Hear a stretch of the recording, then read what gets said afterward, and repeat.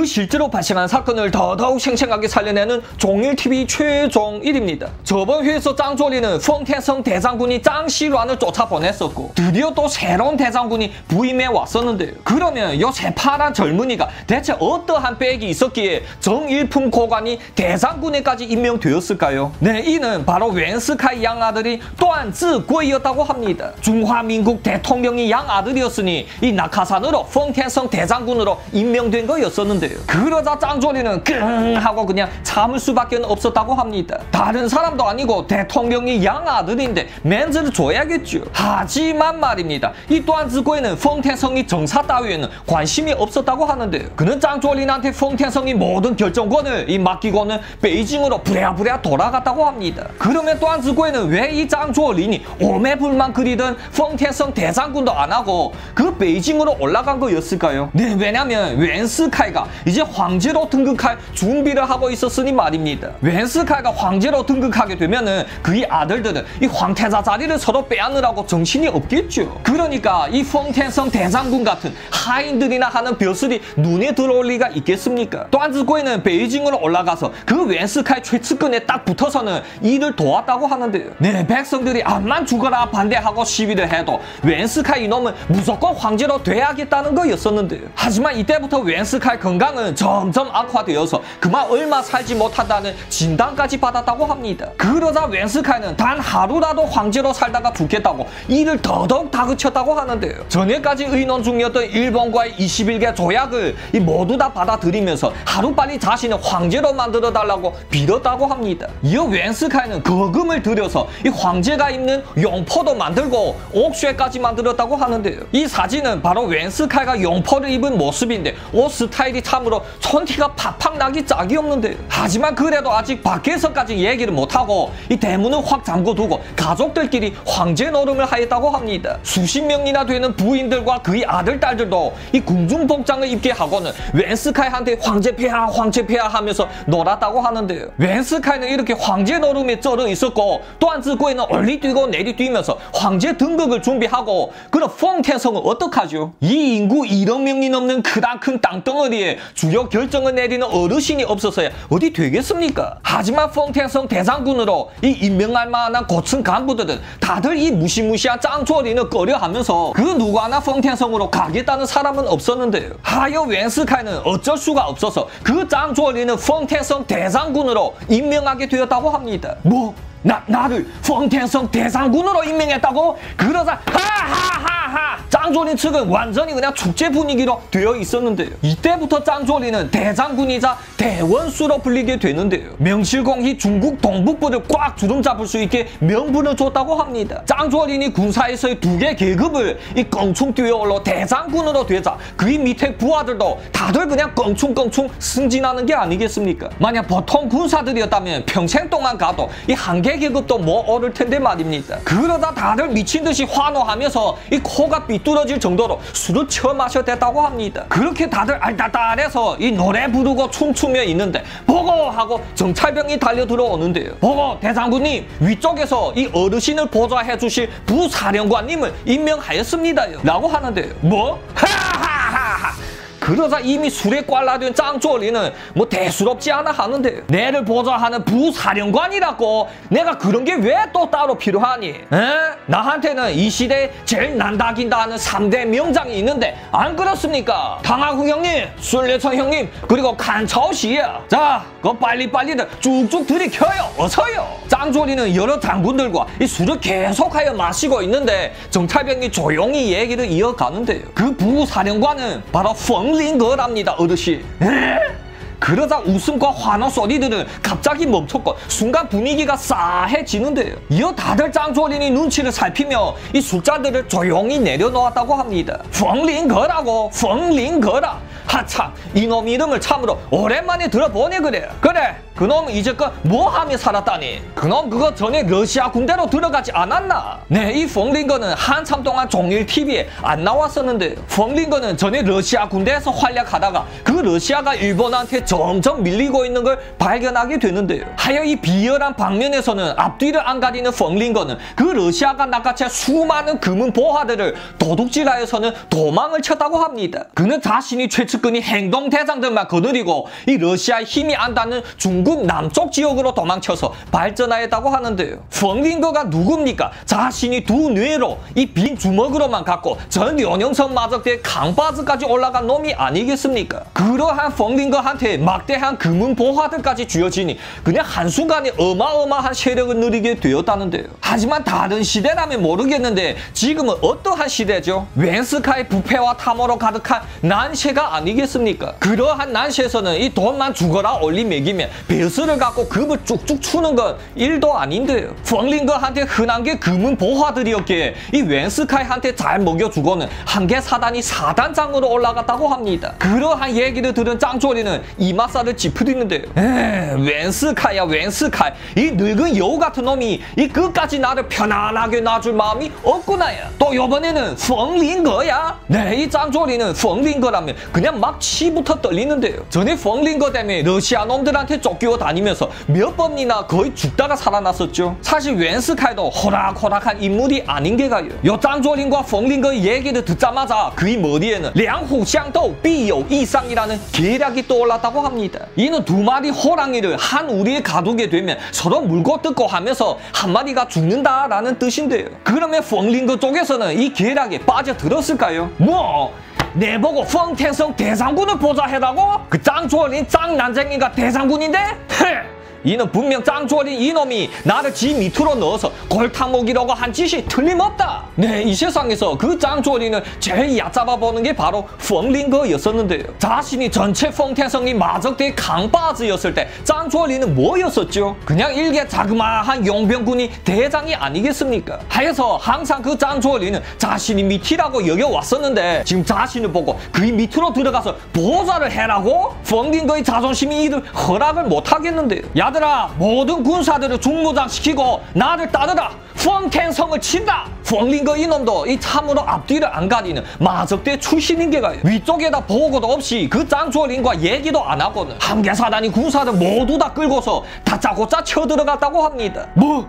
그 소식을 전해들은 짱조리는 혼비백산하는데 펑링거가 한계 사단이 병력을 이끌고 펑텐성 안으로 쳐들어왔어? 야야 빨리 밖에 나가 있는 내 주력 군사들을 불러 모아라 그제야 짱조리는 전 동북 삼성에 흩어져 있는 자신들이 군사들 끌어모으려 했지만 때는 이미 늦었다는데요 펑링거는 이미 펑텐성 안으로까지 쳐들어왔었으며 이 밖으로 오갈 수 있는 길목들을 모두 다 장악하였다고 합니다 짱조린한테 10만 명의 군사가 있어도 뭐합니까? 왼수에 미불려 징호라고 이 멀리에 있는 물로 가까이에 있는 불을 끌 수는 없으니 말입니다. 탕하후 간차오시 등 주력군은 이미 내몽골 지역으로 이 마적대 터벌에 나가고 없었고 이곳 펑태성에는 순리천 군대밖에는 없었는데요. 또한 이미 놈들한테 꽁꽁 포위되어서 이 탕하후와 간차오시한테 소식이 전해지기도 힘들거니와 만약에 전해진다 해도 이 돌아오려면 한두 달이라는 시간이 걸리는데 말입니다. 네, 이 펑링거는 과연 마적대 출신답게 이 사람 뒤통수 스스로 후려 갈기는 데는 아주 기가 막혔었는데요. 이어 펑링거는 대군을 거느리고 그 짱조린이 대장군 군부가 있는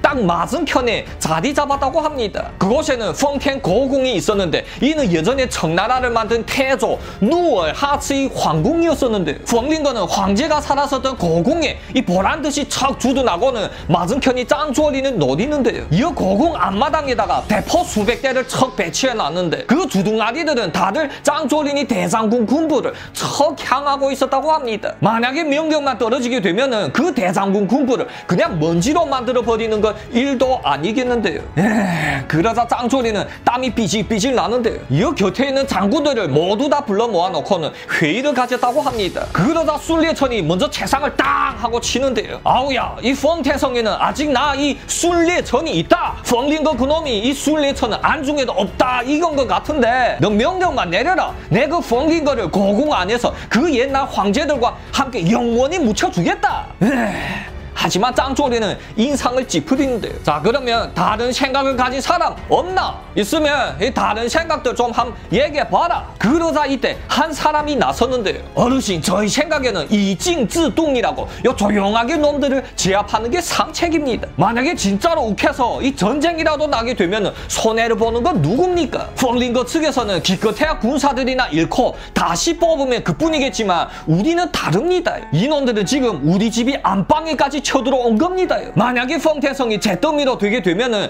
이 수십 년을 다시 건설해도 모자랍니다요. 저희 생각에는 전쟁을 피할 수 있으면 무슨 방법을 써서라도 이 피하는 게 상책일 것 같습니다요. 라고 하는데요. 네, 지금 얘기하고 있는 건 짱조린이 새로운 군사인 양위팅이었었는데요. 만약 군사들이 지략을 굳이 숫자로 따지자면 이러한데요. 짱조린이 초창기 군사인 짱조샹이 지략이 90좌우가 된다면 이 양위팅은 95좌우는 되는데요. 이제부터 양위 팅은 짱조린이 제1군사로 쭉 활약을 하게 된다고 합니다. 네, 하지만 지략이 90도 좋고 이 95도 좋고 다 그 천하제일 지략가의 누구를 이 기준으로 하여 만든 건데요. 지략이 100인 이놈도 조금만 지나면 등장하게 되니까 기대하셔도 좋습니다. 이어 짱조리는 이 양위팅을 보고 계속 얘기해보라고 하는데요. 어르신, 모든 일이 발생한 데는 그 원인과 목적이 따를 게 아니겠습니까? 펑링거가 진짜로 전쟁을 일으킬 생각으로 이 쳐들어온 거라면 뭘 또 더 기다리겠습니까? 우리들이 지원군이 오기 전에 이 대장군 군부부터 재빨리 밀어버리고 말았겠죠. 하지만 이놈이 지금 포위만 하고 이 쳐들어오지 않는다는 건 무슨 요구 조건이 있지 않을까 싶습니다요. 그러니 우리 쪽에서 사람 한 명 보내서 먼저 놈들이 원하는 걸 알아보고 그 다음에 판단을 하는 게 좋을 것 같습니다요. 그러다 짱조리는 무릎을 탁 치는데요. 네 생각이 딱 내 생각이다. 그래 누굴 보내면 되겠냐? 양위 팅아 여기서 네가 제일 총명하니 네가 한 가버려무나? 짱조린이 얘기하자 양위 팅은 이 머리를 절레절레 졌는데요. 어르신 어르신이 인재를 아끼니까 저를 쓰는 건데 그 펑링거한테는 제가 뭔 멘즈가 다 있겠습니까? 그래도 척 보게 되면 다들 알아볼 수 있는 이 멘즈가 꽤나 서는 사람을 보내는 게 좋을 듯 싶습니다요. 저희 생각에는 그 내몽골 군사 총통 우주인성 정도가 되어야 될 것 같습니다요. 네, 이 우주인성은 짱조린 앞에서는 한 마리 개처럼 요 살살 기었지만 이 전국적으로 보게 되면 꽤나 영향력이 있는 놈이었었는데요. 전국에서 면적이 이세 번째로 큰 내몽골 지역을 다스리는 군사 총통이 아니겠습니까? 그때 마침 곁에 있었던 우주인성이 발벗고 나섰는데요. 어르신, 이 우주인성을 믿으십시오. 그 펑링거가 다 뭐랍니까? 헤! 내가 가서 아주 헝구녕을 내줘야겠네요. 우주인성은 짱조린 앞에서 큰 소리 떵떵 제치고는 그 펑링거의 본거지로 우쭐우쭐하며 찾아가는데요. 이어 펑탱성 고궁에 도착한 우주인성은 이 등골이 오싹해 나는데요. 왜냐면 이 고궁이 성문 위에다가 이 거의 열대나 되는 중기관총들을 이 배치해놨는데 착착착 다들 그 우주인성을 묘준하는 거였답니다. 이게 만약에 쏴쏴쏴쏴 하고 쏘아대기 시작하면 우주인성은 그냥 한 더미 고기 덩어리로 금방 변하겠죠. 이어 버터병들이 기란에 따라서 이 대문 안으로 들어간 우주인성은 또 입이 그냥 떡 벌어지는데요. 이 펑링거의 군사들 또한 덩치가 우람지고 이 분위기가 살벌했으니 말입니다. 그러자 우주인성은 혀를 끌끌 찼다고 합니다. 짱조린도 그렇고 펑링거도 그렇고 왜 다들 군사들이 이렇게도 살아있냐고요. 그 우주인성의 군사들은 맨날 먹고 자기만 하면서도 불만들이 그렇게도 많고 요 조금만 어찌게 되면 때려친다고 난리들인데 말입니다. 하지만 짱조린이나 펑링거 의 군사들을 보게 되면 다들 이 군사 규칙을 칼같이 지키며 그리고 다들 공을 더 세우겠다고 이 두 눈이 시뻘게 있으니 말입니다. 우주인성은 이러한 게 이해가 안 됐지만 네 이러한 게가 바로 장군들이 통솔력의 차이가 아니겠습니까? 이러한 난놈들은 전선적으로 이 다른 놈들을 다스리기 위해 태어났는데요. 하지만 뇌물을 먹여서 올라간 우주인성 같은 놈이 어떻게 그러한 걸 알겠습니까? 하지만 그래도 우주인성은 이 대가리를 빳빳이 쳐들고 들어가는데요. 왜냐면 군사 계급으로 치면 이 우주인성과 펑링거가 동등한 위치였으니 말이었죠. 헤! 하지만 펑링거는 이 째서해서 그 우주인성을 마중도 안 나왔다고 합니다. 이 펑링거가 있는 룸에까지 들어갔었는데 네, 이 펑링거는 아무 말도 안 하면서 그냥 째려만 보고 있는 거였었는데요. 하참 그러자 우주인성도 살짝 열받는데요. 어차피 너랑 나랑 같은 군사 계급인데 한마디 반격이라도 하면 어디 덧나냐고요. 하여 우주인성이 먼저 인사를 올리는데요. 자, 내는 내몽골이 군사 총통 우주인성이요. 내 그 짱조린 대장군이 명을 받들어서 네, 이 우주인성이 얘기가 안 끝났는데 펑링거가 채상을 땅 하고 치는데요. 뭐 짱조린 대장군이라고? 그 조그만 코 흘리개가 뭔 대장군이야? 에? 내 앞에서 다시 그러한 헛소리를 짓거리면 너희 그 혓바닥을 콱 뽑아놓겠다 야. 이 문이 발카락 열리더니 이 수십 명의 군사들이 우두루 몰려 들어오는데 왜요? 왜 그럽니까 장군님? 이놈은 그냥 콱 두동강으로 내버릴까요? 그 헝상구준 펑링거의 군사들은 우주인성을 우두루 에워싸면서 이 황소숨을 쉬쉬하고 내쉬는데 이때 그냥 펑링거가 입만 뻐끗해도 이 당장에서 모가지를 따버릴 기세였다고 합니다.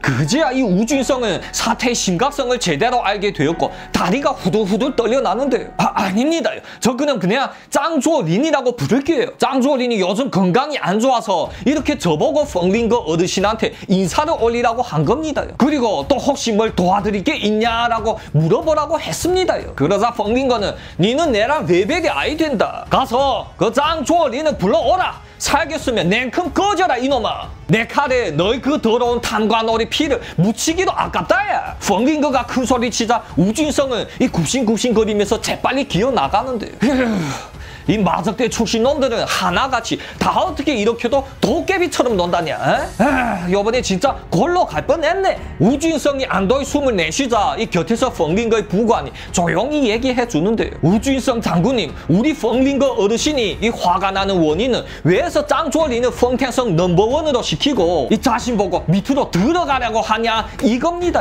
펑링거 어르신이 요구 조건은 딱 하나. 펑링거 어르신이 펑탱성 대장군으로 하고 이 짱조리니 밑에 넘버 투로 들어가라 이 말입니다. 아 그래요? 그러자 우진성은 이 부랴부랴 돌아가서 이 사실을 짱졸린한테 알리는데요. 어? 그런 거였어? 아니 난 또 뭐라고? 펑링거야 펑링거 니 놈은 이 다른 방면에서 다 난 놈인데 이 속이 요만큼 좁아 터져서 어디다 쓸 거냐냐 알았다 니 놈이 명하면 그리도 목을 매면 내 그냥 바로 줄게 그리고 곧바로 이튿날 짱조리는 군복도 다 벗어버리고 보통 평민복장으로 척 나오는데 그리고는 곧바로 그 펑링거의 임시 아지트로 찾아갔다고 합니다 뭐 짱조리니 감히 혼자서 찾아왔어? 이 놈이 이거 죽고 싶어서 환장했네. 야들아, 그 놈을 들여보내봐라. 이어 짱조리는 펑링거의 룸으로 척 들어갔다고 합니다. 그러면 이 오래된 원수 사이인 짱조린과 펑링거가 만나게 되었는데 과연 어떠한 일들이 발생할까요? 다음 회에 계속하겠습니다. 재밌게 시청하셨으면 구독과 좋아요 쾅쾅 박아주시고요. 다음 회에 또再见。